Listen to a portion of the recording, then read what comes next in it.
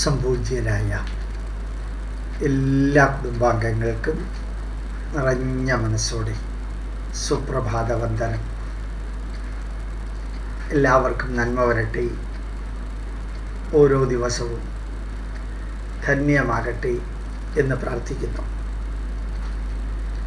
നമ്മളുടെ ദിവസവും നമ്മളുടെ രാത്രികളും നമ്മൾ തന്നെയാണ് നമ്മുടെ ജീവിതത്തെ ധന്യമാക്കാനായിട്ട് പ്രയോഗിക്കുന്നത്.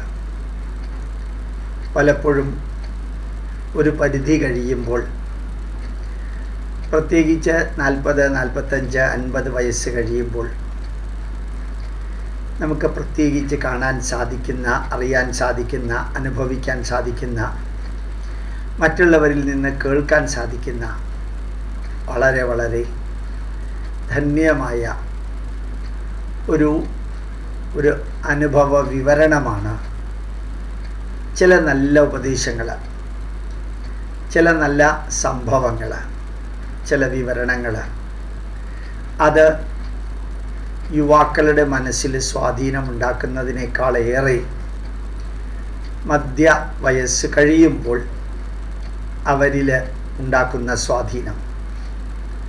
ചെറിയ ഉപദേശങ്ങൾ അത് ആര് ആർക്ക് കൊടുത്തതാണെങ്കിലും ശരിയാണ് ആ ഉപദേശങ്ങൾ അല്ലെങ്കിൽ ചില അനുഭവ വിവരണങ്ങൾ പലപ്പോഴും പ്രായമാകും തോറും മനസ്സിൽ തങ്ങി നിൽക്കും. അത് അത് വളരെ വളരെ നമുക്ക് പ്രയോജനപ്പെടുത്താൻ സാധിക്കും.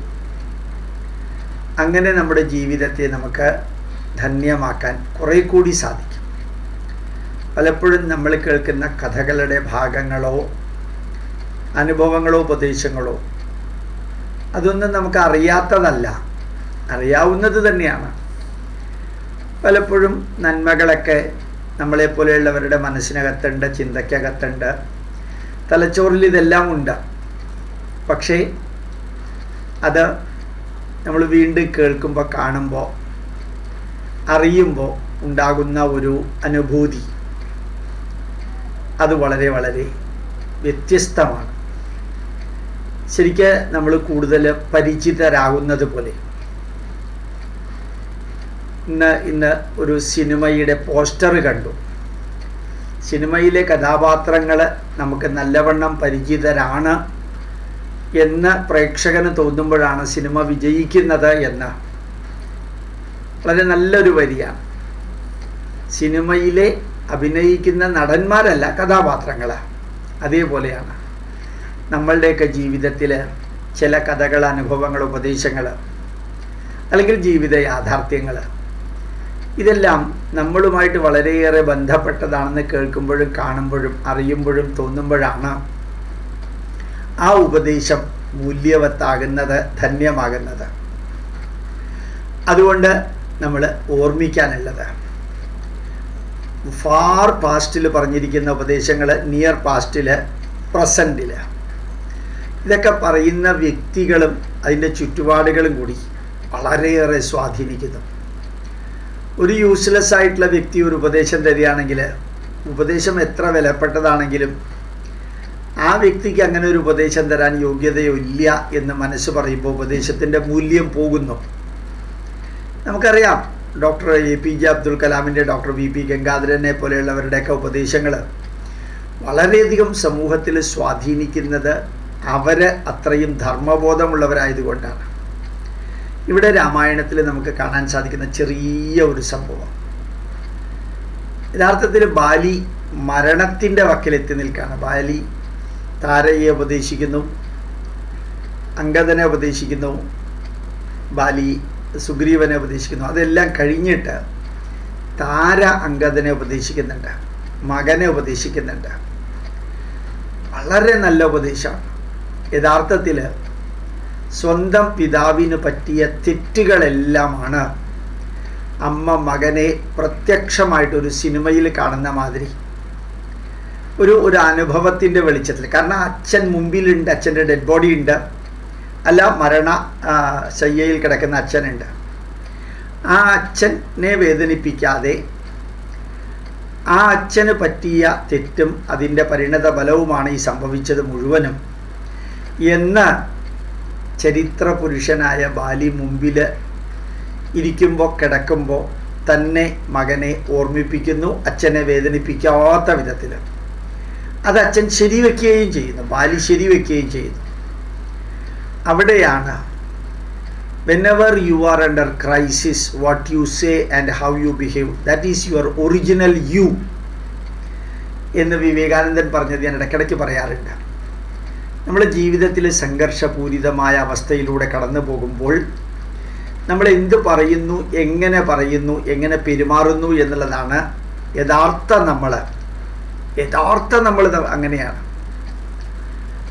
അപ്പോൾ ശരിക്കും പറഞ്ഞു കഴിഞ്ഞാൽ ആ യഥാർത്ഥ നമ്മളിൽ നിന്ന് മറ്റ് നോർമൽ കണ്ടീഷനിൽ നമ്മൾ വേറൊരു നമ്മളായി മാറുകയാണ്. അതായത് നമ്മൾ അഭിനയിക്കുകയാണ് ബാക്കി ജീവിതത്തിൽ. Whenever you are under crisis സംഘർഷപൂരിതമായ അവസ്ഥയിൽ നിങ്ങൾ സംസാരിക്കുന്ന രീതിയും നിങ്ങൾ പെരുമാറുന്നതുമാണ് യഥാർത്ഥ നിങ്ങൾ. ഇത് വിവേകാനന്ദന്റെ വരിയാണ്. ആ വിവേകാനന്ദന്റെ വരി എത്ര ശ്രേഷ്ഠമാണ് ഈ തരണത്തിൽ എന്ന് നോക്കാം താരയുടെ ഭർത്താവ് മരണശയ്യയിലാണ് പെടയുന്നുണ്ട്. ഒരു തെറ്റും ചെയ്യാത്ത തന്റെ ഭർത്താവിനെയാണ് രാമൻ നിഗ്രഹിച്ചത്. അതെല്ലാം അറിയാം. എന്നാലും ബാലിയുടെ പരിമിതികളെക്കുറിച്ചും തെറ്റുകളെക്കുറിച്ചും കുറ്റങ്ങളെക്കുറിച്ചും കൃത്യമായിട്ട് അറിയാവുന്ന താര ബാലിക്ക് ഇങ്ങനെ ഒരു സംഭവം ഇങ്ങനെ ഒരു മരണം ഇങ്ങനെ ഒരു വേദനാജനകമായ അവസ്ഥ ഉണ്ടാവാൻ കാരണം അഹങ്കാരത്തിന്റെയും ധാർഷ്ട്യത്തിന്റെയും തന്റെ മസിൽ പവറിന്റെയും തന്റെ വീരശൂര പരാക്രമത്തിന്റെയും എല്ലാം ചിന്തകൾ കാട് കയറി തന്നെ ആർക്കും കീഴടക്കാൻ സാധിക്കില്ല. തന്നെ ആർക്കും തൊടാൻ സാധിക്കില്ല. തന്നെ ഒന്നും ചെയ്യാൻ സാധിക്കില്ല. എന്ന ആ അഹങ്കാരമാണ് ബാലിയുടെ വധത്തിന് കാരണമായത്. ഈ ഭൂമിയിൽ നിന്ന് ഉന്മൂലനം ചെയ്യപ്പെടാൻ കാരണമായത്. അത് ബാലിയെ വേദനിപ്പിക്കാതെ ഭർത്താവിനെ വേദനിപ്പിക്കാതെ അതിൽ നിന്ന് അനുഭവ പാഠം പഠിക്കാൻ താര മകൻ അങ്കദനെ ഉപദേശിക്കുന്ന ആ വരികൾ ശരിക്കും നമുക്ക് നോക്കിക്കഴിഞ്ഞാൽ നല്ലൊരു പ്രൊ ഒരു സോഷ്യോളജി പ്രൊഫസർ സൈക്കോളജി പ്രൊഫസർ ആ പ്രൊഫസറുടെ വരികളാണ് താരയുടെ വരികൾ താര കുരങ്ങനാണോ ബാലി കുരങ്ങനാണോ അങ്കദൻ കുരങ്ങനാണോ അല്ല നമ്മളാണോ കുരങ്ങൻ? അതൊന്നും അറിഞ്ഞൂടാ. ഏതായാലും ഒരു കുരങ്ങൻ കുലത്തിൽ ജനിച്ചവരിൽ നിന്നൊന്നും ഇത്രയും പെർഫെക്റ്റ് ആയിട്ടുള്ള പത്നീധർമ്മത്തിന്റെ പരമകാഷ്ഠയിലെത്തിയ താര. അതാണ് നമ്മൾ അഹല്യ ദ്രൗപദി സീത താരാ മണ്ഡോദരീതത പഞ്ചകന്യാ സ്മരേത് നിത്യം ഏതത് പാപവിനാശനം അടുത്ത കാലത്ത് ടി ജി മോഹൻദാസ് അദ്ദേഹം ഒരു വരി പറയേണ്ടായി ശരിക്ക് ശ്രീരാമൻ നിഗ്രഹിച്ച രാവണൻ ഇപ്പം രാവണനും രാവണന്റെ കുലവും ശ്രീരാമന്റെ ശത്രുവാണ്. രാവണനും രാവണന്റെ കുലവും കുടുംബവും ഒക്കെ ശ്രീരാമന്റെ ശത്രുവാണ്. കാരണം ശ്രീരാമന്റെ ധർമ്മപത്നി സീതയെ അപഹരിച്ച കുലത്തിൽപ്പെട്ടാണ് പക്ഷേ മണ്ടോദരിയെ നമ്മൾ പഞ്ചകന്യകകളുടെ കൂട്ടത്തിൽ ഏറ്റവും ശ്രേഷ്ഠയായ സ്ത്രീയാക്കി മാറ്റി. അതാണ് ഹിന്ദുധർമ്മത്തിന്റെ പ്രത്യേകത. ഇത് മറ്റു ഒരു മതക്കാർക്കും അങ്ങോട്ട് വിശ്വസിക്കാൻ പറ്റണില്ല. എങ്ങനെയാണ് രാവണന്റെ ഭാര്യയെ പഞ്ചകന്യകളുടെ കൂട്ടത്തിൽ ഇത്രയും ശ്രേഷ്ഠയാക്കിയത്? അതുപോലെ ശ്രീരാമൻ നിഗ്രഹിച്ച ബാലിയുടെ ഭാര്യ താര അഹല്യ ദ്രൗപദി സീത താര മണ്ഡോദരീതത അപ്പോൾ സീതയുടെ കൂട്ടത്തിലാണ് അഹല്യയുടെ കൂട്ടത്തിലാണ് താരയുടെയും മണ്ഡോദരിയുടെയും എല്ലാം സ്ഥാനം. അപ്പോൾ ഈ ബാലിയെ ശ്രീരാമൻ നിഗ്രഹിച്ചതിന് ശേഷവും ത്രേതായുഗമൊക്കെ കഴിഞ്ഞിട്ടാണല്ലോ ഈ പഞ്ചകന്യകളുടെ പേരൊക്കെ വരിക. പുരാണങ്ങളിലാണ് അതൊക്കെ വരിക. അപ്പോൾ ആ പുരാണങ്ങളിൽ ഇവരെയൊക്കെ പഞ്ചകന്യകൾ വേറെ വേണമെങ്കിൽ ആക്കാമായിരുന്നു. എത്രയോ അഹല്യ ദ്രൗപദി സീത താര മണ്ഡോദരി ഇവരല്ലാതെ കന്യകൾ ധാരാളമുണ്ട്. നമുക്ക് കുന്തി മാതാവുണ്ട്. അതുപോലെ തന്നെ ഗാന്ധാരിയുണ്ട്. അങ്ങനെ രാമായണത്തിൽ നോക്കുകയാണെങ്കിലുണ്ട്. സുമിത്രയുണ്ട്. ഊർമിളയുണ്ട്. ലക്ഷ്മണ പത്നിയായിട്ടുള്ള ഊർമിളയുണ്ട്. കൗസല്യുണ്ട് അവിടെ ഒന്നും അവരെ ഒന്നും എടുത്ത് ഇങ്ങോട്ട് ഇട്ടില്ല എത്ര ഭംഗിയായിട്ടാണ് നമുക്ക് കാണാൻ സാധിക്കുക. ശത്രുപക്ഷത്തുള്ള അവതാരത്താൽ നിഗ്രഹിക്കപ്പെട്ട വ്യക്തിയുടെ ഭാര്യയെ ഏറ്റവും വലിയ വനിതാ രത്നമായിട്ട് ധർമ്മപത്നിയായിട്ട് ധർമ്മബോധമുള്ള സ്ത്രീയായിട്ട് അംഗീകരിക്കാനും ആരാധിക്കാനും പ്രാതസ്മരണയിൽ സുപ്രഭാതത്തിൽ നമ്മൾ സ്മരിക്കുന്നതിൽ പുണ്യക്ഷേത്രങ്ങൾ ഏഴെണ്ണം അയോധ്യ മധുരാമായ എന്ന് പറയുന്ന മന്ത്രത്തോടൊപ്പം ഗംഗേജ യമുനേ ജൈവ ഗോദാവരി സരസ്വതി എന്ന ഏഴ് നദികളുടെ പേര് പറയുന്നതോടൊപ്പം അതുപോലെ തന്നെ വിഭീഷണനും അശ്വത്ഥാമ ബലിവ്യാസോ ഹനുമംശ വിഭീഷണ കൃപ പരശുരാമശ്ച സപ്തൈതേ ചിരജീവിന ചിരഞ്ജീവികളുടെ പേര് പറയുന്ന കൂട്ടത്തിലും അശ്വത്ഥാമാവ് നെഗറ്റീവിലാണ് ചിരഞ്ജീവിയായി മാറിയത്. പക്ഷേ ഹനുമാൻ പോസിറ്റീവിലാണ് വിഭീഷണൻ പോസിറ്റീവിലാണ് വ്യാസൻ പോസിറ്റീവിലാണ് കൃപര് പോസിറ്റീവിലാണ് ചിരഞ്ജീവിയായി മാറി ആ ചിരഞ്ജീവികളുടെയും പുണ്യക്ഷേത്രങ്ങളുടെയും പുണ്യനദികളുടെയും പേരിലാണ് താര ബാലിയുടെ ഭാര്യയ താര വരുന്നത്.